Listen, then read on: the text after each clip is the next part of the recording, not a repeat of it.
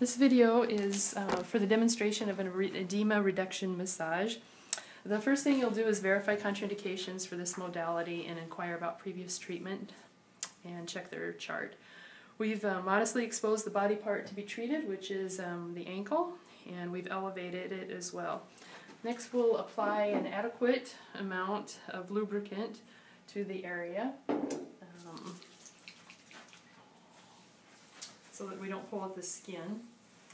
And then we're going to start the edema reduction massage um, proximal and we're going to move, um, start moving distally. So typically we'll start at distal and we'll push proximal, but to get the edema out we're going to start and work just this area right here.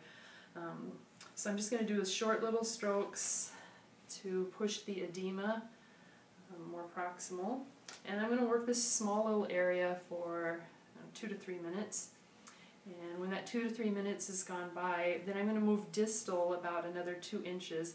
And now I have about four inches to work. So distal to proximal, um, but I haven't, I don't start clear down here. And we'll work this area for another two to three minutes. And after that, then I'm going to move another two to three, or one to two inches. So now I'm working this whole area from distal to proximal. Again, I'll spend a couple minutes um, doing this, this area, and then I'll come clear down here, um, which is a couple more inches distal, and then work the whole entire area um, in a proximal direction.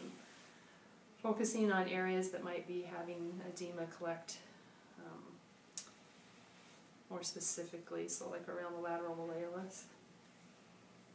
And then after about three minutes, um, of that. Then I'll wipe off any excess lubricant that I've used.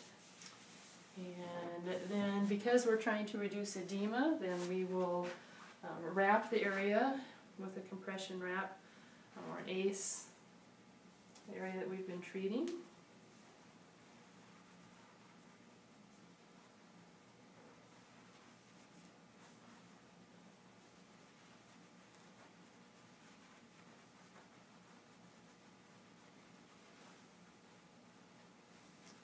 This one's a little bit long, but um, shorter one, then we would stop there and then they can go ahead and go on. That's the edema reduction massage.